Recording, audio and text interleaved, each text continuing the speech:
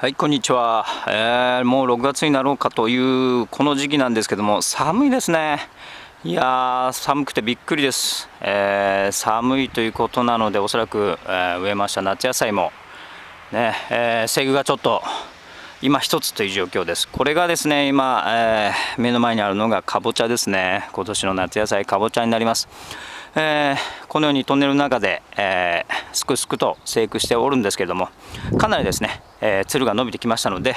えこのようにですねトンネルを開けましてつるを外に這わしてあげますね。そうしますとこちらにですね畝間に、えあります。これはマルチ麦っていうものなんですけどもこの上にですねかぼちゃくんがどんどん乗っていくというやり方になりますね。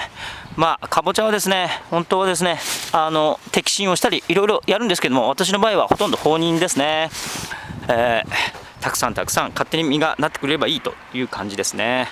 えー、今年は結構作付けたんですけどもいいかぼちゃになるでしょうか、えー、今日はあまりに寒くてですねトンネル剥がしちゃおうかと思ったんですけども、えー、ちょっと寒そうなので、えー、やめておきます。そんなことで、えー、今年のですねかぼちゃくんでした。それではまた。